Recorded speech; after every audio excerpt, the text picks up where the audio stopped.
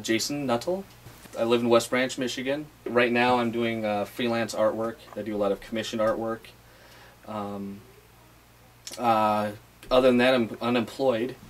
so uh, right now I'm pushing really hard to try to sell my work, try to get people interested in my, uh, my talents.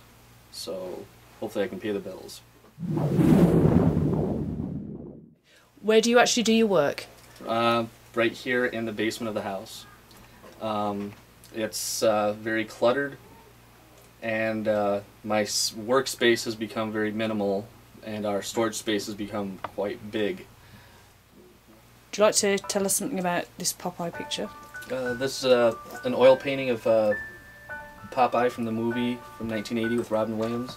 Um, it's a part of a series of Popeye uh, portraits that I'm working on. I do portrait work now. I don't like if I draw a cartoon of Popeye, it is, doesn't have as much intensity. It doesn't have the the feeling that I'm looking for, and uh, so what I decided to do is try to uh, portray the characters in the movie uh, itself because I'm a huge fan of the history of Popeye and the cartoons and um, and the movie as well. So uh, I'm doing Popeye and Bluto upstairs uh, drawing, of course. And um, I just want to do a full series just because it's been one of the biggest inspirations um, throughout my life. How much opportunity do you get to show artwork like that around this around this area? There are a couple of galleries here in town. Um, one's more, it's more of a shop than a gallery, and uh, I've got some work in the, in both both places. Um, the one gallery uh, is the Enchante Gallery. They um, they were host to my first solo art exhibit in West Branch. I've had two others before that, um, back in '98 and '99 up north. I'm trying to get my work out into out beyond West Branch a little bit more, trying to find areas in Michigan and um, elsewhere to to display my work.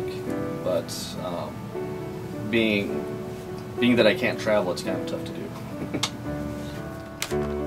course, I want to be able to make money just because for the fact that you know I've got three kids and a wife at home, and uh, I can't really rely on uh, having artwork hanging in a gallery for three years and have nothing sell. So right now, I do a lot of portrait work, and, but which is a good thing because I do. That's pretty much all I do really is portraits. Do you think if you if you specialise in one particular field of art, like portraiture, do you think you're limiting yourself?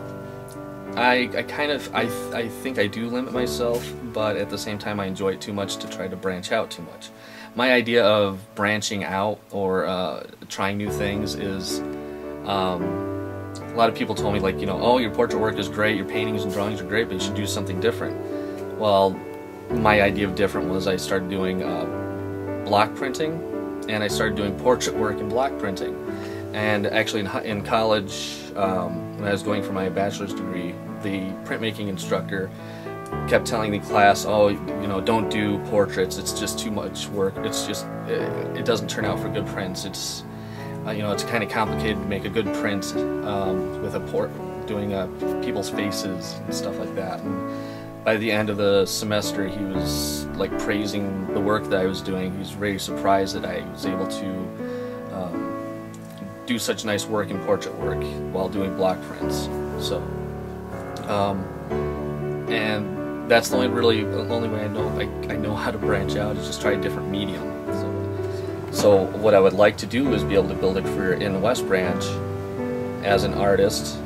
Um, I know that there's there's some artists who live in you know they live in Wisconsin but they're very successful. You know they might travel to New York and do a, uh, do a show or they might you know sell artwork and ship it. So I see I, the way I see it is why can't I do it in West Branch? Have you managed to achieve that so far? I've done quite a few projects. Um, I have to thank the technology with the internet because I um, I've gotten a lot of uh, clients through the internet who've seen my artwork or have heard somehow heard of a story about me meeting Sammy Hagar, or, you know, um, and they they approach me or sometimes I approach them, and they like my work and they they hire me and I have to mail out the, the piece. You know, I've got some artwork in California, some in Florida, uh, Wisconsin. You know, I've got.